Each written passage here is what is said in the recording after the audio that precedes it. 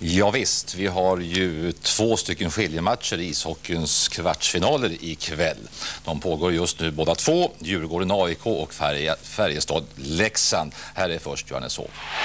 En jämn och härlig kamp mellan AIK i svart och Djurgården i gult. AIK hade ett visst grepp om första perioden där vi befinner oss nu och eh, i mitten av perioden händer det här. Peter Hammarström efter miss av Djurgårdsbackarna 1-0 till AIK.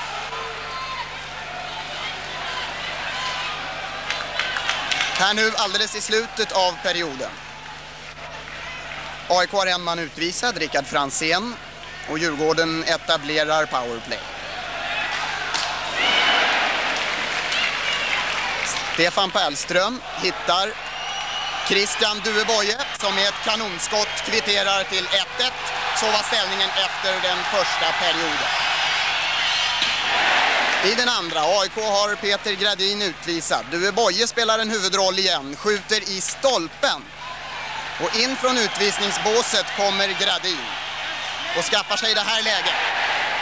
Men eh, inte något mål. Mer AIK i numerärt överläge. Nummer 20 Bo Berglund.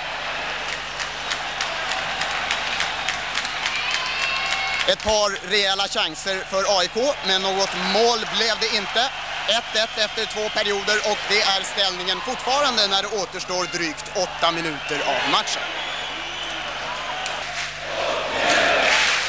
Det återstår 6 minuter och 50 sekunder på isstadion mellan eh, AIK och Djurgården och det står fortfarande 1-1. Men det har väl blivit Djurgårdens match lite mer det här i den tredje perioden. AIK kan nog tacka storspelande målvakten Åke Liljebjörn för att det inte har blivit något Djurgårdsmål i den här perioden. Det var speciellt ett tag under ett numerärt överläge då Djurgården pressade något alldeles kolossalt och då Liljebjörn gjorde den ena prakträddningen efter den andra. Och ni ser ju att också nu AIK har vissa besvär att ta sig ut ur zonen. Blir stoppade i mittzonen av eh, aggressivt Djurgårdsspel. Här är Bosse Berglund i AIK. Jättechans för Anders Gotzi. Men Hans-Göran Elo i Djurgårdsmålet klarar den gången och så är det mål. Och AIK tar ledningen med två mål mot ett. Har ni sett? Med 6 minuter och 18 sekunder kvar att spela av eh, den här kvartsfinalen tar AIK ledningen över Djurgården.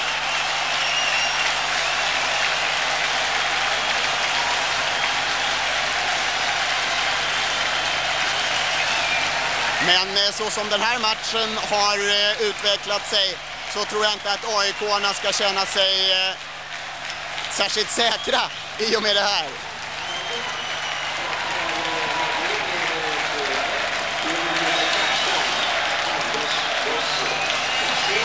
Och det är en av AIKs unga stortalanger, Anders Gotzi, som eh, gör AIKs ledningsmål.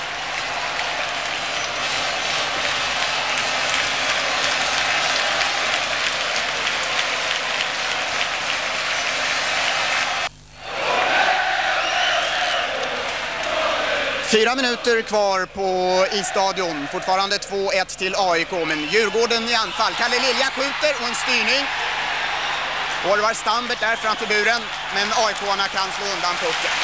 Ja, det här är en eh, derbymatch helt i publikens smak. De här båda lagen har ju bjudit på fantastiskt jämna matcher och ännu en gång gör de det.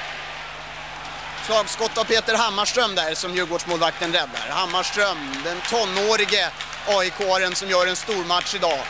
Gjorde AIKs första mål. Bosse Berglund in med pucken. Framför målet. Där nu Henrik Sederholm har den.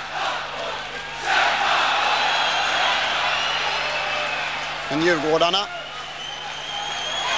ut i mittzon, men aik tar tillbaka det. Här kommer Berglund, AIKs skyttekung. Ingen mål den gången. Men den här matchen har fått eh, ett fantastiskt liv i den tredje perioden. Det var lite mer ställningskrig i de två första perioderna, men här i den tredje har det varit full fart och massor av chanser. Från början mest för Djurgården, men eh, nu mot slutet också för AIK.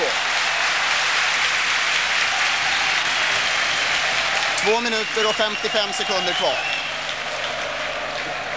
Och 2-1 till AIK.